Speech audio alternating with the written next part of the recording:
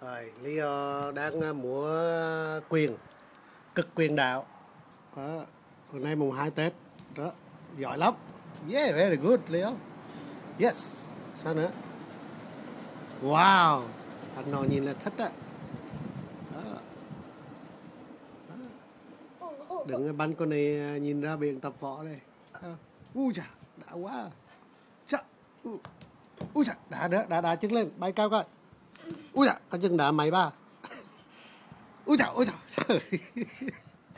Tội. Rồi, xong kia. Rồi, gì nữa? Wow.